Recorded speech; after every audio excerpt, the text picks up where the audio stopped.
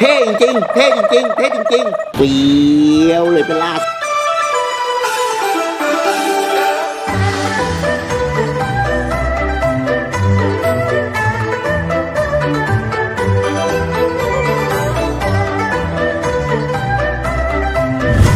มาชุดสุดท้ายที่เราดูกันไป 2 EP ก็ไปก็คือว่า 1 2 3 4 5 6 อันนี้คือเป็น ชุดที่เพิ่งออกมาใหม่คือ 7 8 9 นะครับสำหรับตัวนี้ปั๊บ3ตัวนี้เหมือนกล่องมันจะใหญ่ขึ้นนะครับสองกล่องนี้ เพราะว่ามันมีความพิเศษของมันคือมันมีมอเตอร์ไซค์มาให้ด้วยเว้ยเรามาดูตัวแรกกันดีกว่า ตัวนี้มันมีชื่อว่าชาวยังโอโอกันดัมแอนวีลองโกชื่อผิดก็อ่านขออภัยไว้ด้วยนะครับผม นี่หน้าตาเป็นอย่างนี้เฟียวเฟียวเฟียว อะเรามาดูข้างในดีกว่าตัวนี้นะความพิเศษของมันก็คือว่า อันนี้เป็นตัวที่7นะครับผมมันมีมอเตอร์ไซค์มาให้ด้วยเห็นป่ะนะหนึ่งถุงสองถุงสามถุงแต่เป็นถุงใหญ่ๆนะ ประกอบเสร็จแล้วเนี่ยมันเป็นอย่างนี้นะครับอ่าคู่มือการประกอบมันก็เป็นอย่างนี้ เรามานับแผงกันก่อนนี่มี1 2แผง3 4 5 6 7 8 8แผงแค่นั้นเองนะครับผมสำหรับตัวนี้นะครับผม ก็จะมีมอไซค์มีอะไรมาให้ด้วย ตัวที่8กันครับ ตัวนี้ก็มีความพิเศษเหมือนกัน มีมอเตอร์ไซค์เหมือนกันนะครับ ตัวนี้มีชื่อว่าโรยบูชิเนนจูแอนชิทูมาอะนี่นี่นะอ่านชื่อผิดก็ขออภัยไว้ด้วยนะครับผมหนึ่งถุงสองถุงสามถุงอะมีหนึ่งสองแผงสามแผงสี่ห้าหกเจ็ดแผงนะครับผมตัวนี้ นะฮะกันดั้มตัวนี้นะก็เดี๋ยวไปดูการประกอบอีกตัวนึงแล้วมากลับมาดูรีวิวว่ามันจะสวยยังไง อ้าวมาตัวสุดท้ายตัวนี้ตัวที่ 9 นะครับผม ชื่อไดชางคาสติยาโอ้ยตัวนี้นะทำสีน่าจะจ้าเหมือนกันเว้ยเฮ้ยอ้าวแกดูดีกว่าหนึ่งถุงสองถุงสามถุง เหมือนเคยครับผม แล้วก็มีคู่มือการประกอบ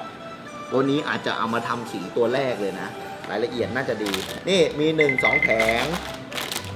3 4 5 6 แผงนะครับผม ไปดูกันดีกว่าว่าประกอบเสร็จแล้วเนี่ยสามตัวเนี้ยมันจะสวยสู้ 2 ชุดที่แล้วได้ไหม แล้วเดี๋ยวมาดูกันว่าประกอบเสร็จแล้วมันจะสวยแค่ไหนดาวมันจะเยอะแค่ไหนนะฮะ หลังจากนี้เราก็ใครอยากให้ทำอะไรก็บอกนะ เดี๋ยวไปดูปักสีวิวกันด้วยว่ามันจะเป็นยังไง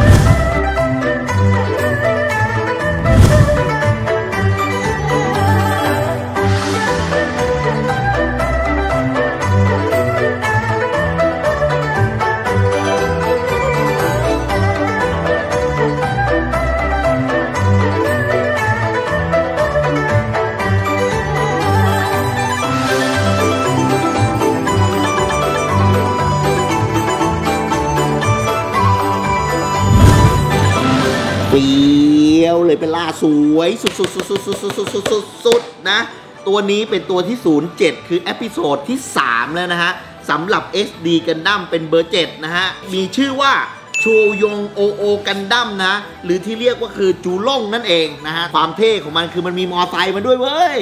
เท่จริงๆนะมันมีมอไซค์มาให้แต่คือมอไซค์มันก็คือความเป็นมันเป็น option ของมันนะนะแต่คือว่าด้วยตัวของมันเองเนี่ยความรายละเอียดในตัวของมันอะมันมีเส้น รายละเอียดของมันน่ะค่อนข้างเยอะ พอเวลาเราตัดเส้นไปแล้วเนี่ยมันมีมิติขึ้นมา แล้วที่สำคัญเนี่ยดูรายละเอียดของมันก็คือในเรื่องของสีนะฮะเนี่ยมีสีทอง สีขาว สีแดง สีน้ำเงินนะฮะแล้วไอ้ตัวเนี่ยใสๆ part ใสๆที่เป็นผ้าเป็นหงอนเป็น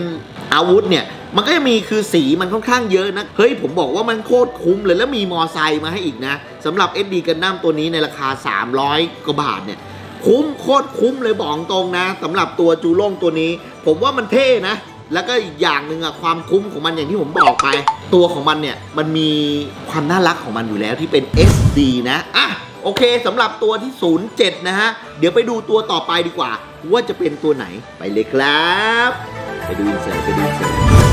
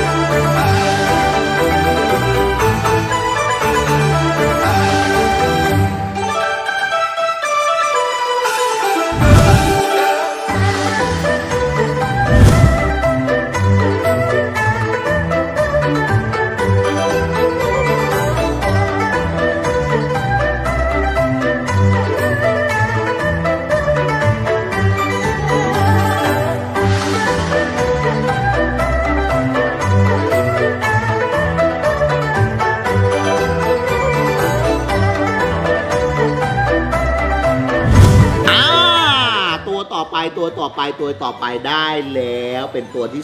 08 นะฮะ ตัวนี้นะครับมีมอไซค์มาอีกแล้วนะครับอลังการงานสร้างอย่างกับฮาร์เลย์เดวิสันเลยมึงเอ้ย อันนี้คือลูบูซินันจู and ชิตูม่านะครับผม หรือที่เรียกกันว่าคือลิโป้นะฮะ ความเท่ของมันเป็นไง มีมอไซค์มาอีกแล้วนะฮะ ตัวนี้นะครับความพิเศษของมันเนี่ยมันมีมอไซค์ นะฮะ มี option มีดาบ มีอะไรเงี้ยอลังการงานสร้างเลย เท่จริง แต่ถ้าเกิดตัวของมันเนี่ย มันก็จะเป็นตัวสีแดงเลย ตัดสีทอง แล้วก็มีสีม่วงที่เป็น option แล้วก็มีสีดำอะไรประมาณนี้นะฮะ ความแปลกของมันก็คือว่ามีอาวุธที่มันเป็นสีม่วงใสๆนะฮะ part ที่เป็นใสๆแล้วก็ตัดสลับสีทองนะฮะแล้วก็สีแดงนะฮะแล้วก็มีมอไซค์ มันเท่ มันก็อยู่ในคอลเลกชันสำหรับคนที่อยากได้ SD กันดั้มในตัวที่ 8 ตัวนี้สำหรับตัวลิโป้นะ ก็ไม่รู้จะพูดอะไรมาก พอเวลาตัดเส้นออกมาแล้วเนี่ย มันก็จะดูแบบมีมิติมากขึ้น มีความอลังการคือสีมันอาจจะไม่ได้ดูแบบเหมือนกับตัวอื่นนะ แต่ความที่แตกต่างคือความอลังการของมันก็คือว่าใหญ่นะฮะ300กว่าบาทเนี่ยได้กันดั้มตัวนี้เผลอๆแม่ง part แทบจะเหมือนนะอ่าพวก high grade พวกอะไรอย่างเงี้ยนะอะ ไปดีกว่าสำหรับลิโป้นะ เดี๋ยวไปดูรายละเอียดของมันดู insert ภาพของมันสวยๆ ว่าจะเป็นยังไงนะฮะ เดี๋ยวไปดูตัวต่อไปครับตัวที่ 9สำหรับ episode ที่ 3 ตัวนี้ว่าจะเป็นอะไร ไปดูกันเลยครับผม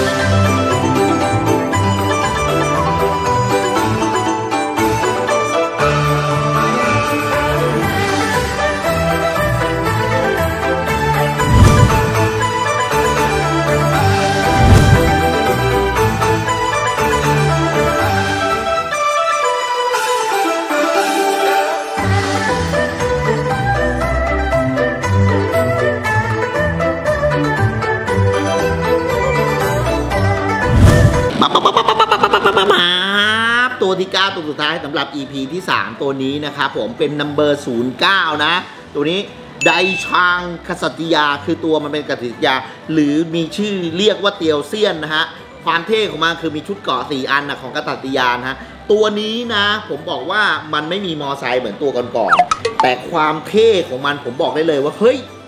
แม่งคิดได้ไงคือ คือเอาตัวละครของกษัตริยาเนี่ย แล้วก็มาทำเป็นเหมือนกับตัวละครสามก๊กที่ว่าคือเตียวเสี้ยนน่ะแต่คือความสวยของมันนะ อะถ้าจะให้ดูเนี่ยมาดูใกล้ๆเนี่ย สีของมันนะสีขาว สีทอง สีอ่า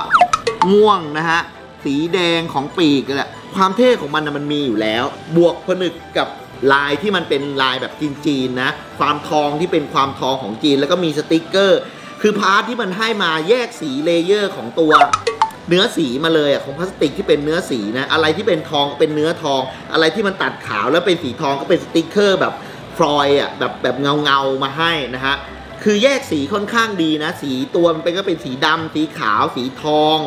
มีสีแดง แล้วก็มีสีม่วงใน part ที่มันแบบมีความเท่ แล้วก็มีสติกเกอร์ พอตัดเส้นออกมาแล้วโคตรลงตัวเลย ถ้าเกิดตัวไหนใครไปทำสีนะเราก็เคยทำสีให้ดูแล้ว คือถ้าเกิดทำสีแบบดีๆ ผมบอกว่าตัวนี้โคตรเด็ดเลยบอกตรงเด็ดโคตรๆนะสำหรับเตียวเสี้ยนกษัตริยาตัวนี้นะเท่จริงๆเท่จริงๆเท่จริง ๆ ไปเอากันให้ครบนะฮะสำหรับตัวนี้เป็นตัวที่ 9 นะสำหรับ episode ที่ 3 นะฮะ อะ โอเคไปดู insert ของตัวกษัตริยาเตียวเสี้ยนตัวนี้ว่ามันจะสวยแค่ไหน แล้วเรากลับมาให้ดาวทั้งหมด 3 ตัวว่ามันจะเป็นยังไงครับผม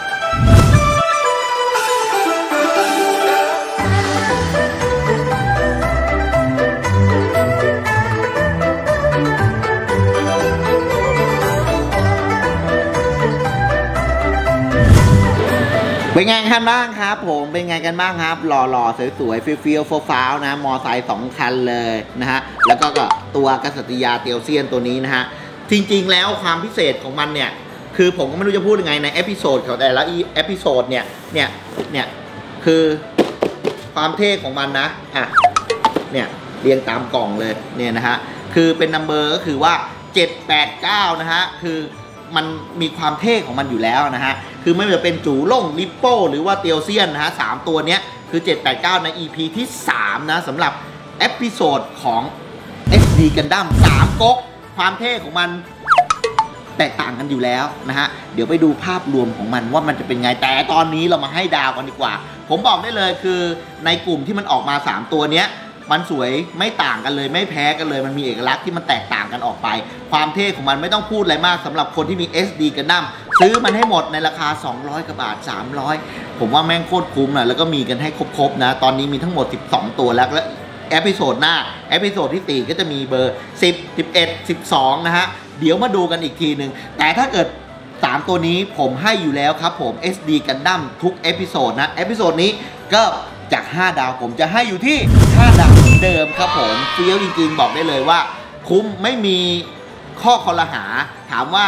ทำไมหนึ่งด้วยราคา 2 รายละเอียดที่มันให้มาเนี่ยคือเนื้อพลาสติกหรือว่าร่องในการตัดเส้นหรือว่าเนื้อสี layer ของอพลาสติกเนี่ยผมว่ามันเท่ มันค่อนข้างคุ้มแล้วผมให้ 5 ดาวไปเลยแล้วกัน อะ ไม่พูดพร่ำทำเพลงถ้าใครชอบก็ฝากกด subscribe ไลค์แชร์กันด้วยนะครับ จะได้มาเจอกันใหม่แล้วกระดิ่งด้วยนะฮะ และที่สำคัญไม่กดข้ามโฆษณานะครับ เพื่อเป็นกำลังใจในการทำคลิปต่อๆไป แล้วมาดูกันใหม่ในเบอร์ 10 11 12 ใน episode ที่ 4 นะฮะสำหรับ SD กันดั้มวันนี้ไปก่อนครับผม สวัสดีครับ บ๊ายบายเปียว